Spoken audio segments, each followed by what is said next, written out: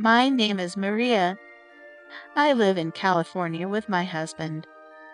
Ever since I was a little girl, I've loved Our Lady very, very much. My parents taught me the story of the miracle of Fatima, and every Sunday we would pray to her in our local church. Our Lady is very important to me. I always have her in my heart. She helps me when something worries me. I always pray to her because I know she is always protecting me. When I found this statue of Fatima, I was amazed. I wanted one all my life, so I purchased her immediately, especially because she is so beautifully detailed and made in Portugal. I am very grateful that I found her